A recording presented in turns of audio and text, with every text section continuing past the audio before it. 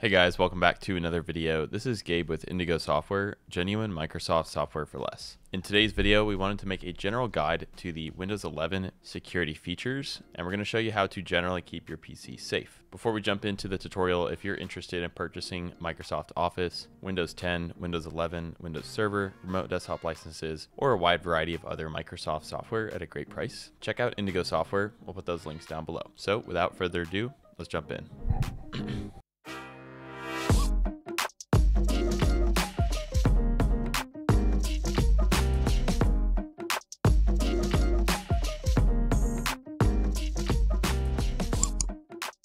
First thing we're going to cover is inside of our settings. Hit Windows key and I together to pull up the settings. Navigate down towards the middle here where it says accounts. Now just scroll down a little bit until we see sign in options. Here we have a variety of options and this is of course going to largely depend on your hardware. In my case, I don't have any facial recognition features on my computer, nor do I have a fingerprint sensor, but I can always set a pin. So with this, my pin is already set. If you don't have one here, this is the menu again where you can configure your facial recognition, fingerprint or pins. This is the first and most effective measure of security for keeping your PC safe. These features collectively are called Windows Hello, and it is more effective than traditional methods because it creates an added layer of security over a standard password. Next up, we're going to open the control panel. So we'll simply type in control panel and we'll open it up. Click into system and security. Towards the middle, we're going to click BitLocker drive encryption. We can see that BitLocker is off. My C drive holds my sensitive data on this computer. And so for this drive, I want to turn on BitLocker. And this is going to be a drive encryption in the event that my computer is stolen. So I'll click to turn on BitLocker and we'll let it load. At this point, we can go ahead and hit next. Here we have a recommendation to back up critical files and data. So if you need to do that, go ahead and do that. I will hit next. All right, our drive has been prepared for BitLocker and now we just move to the encrypting part.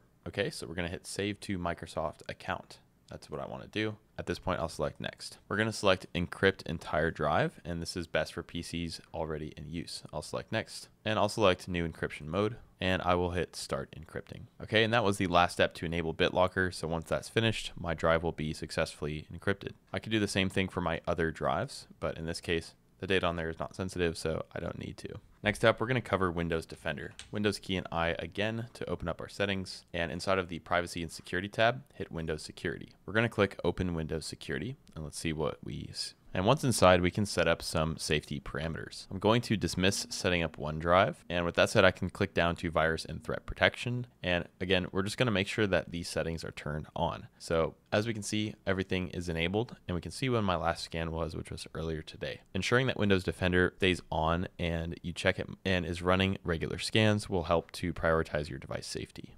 All right, guys, and the last thing that we're going to check inside of our computer here is simply just the Windows update. So towards the bottom of the settings menu, make sure your computer stays up to date. As we can see, I have some updates to install. So I'm going to go ahead and install these. Keeping your computer up to date is going to make sure that your computer holds the highest safety standards. All right, guys, that's going to do it for today's video. If you have any questions about keeping your PC safe, drop those in the comments below and we'll get back to you as soon as we can. Again, if you're interested in purchasing genuine Microsoft software at a great price, check out Indigo Software. We'll put those links down below. As we continue to grow the channel, your ideas are extremely valuable to us. So we invite you to ask yourself the question, what video would you like to see? Comment that idea below. Lastly, a like and subscribe would be greatly appreciated as it helps to support our channel. Thanks again for watching. We'll see you guys in the next one.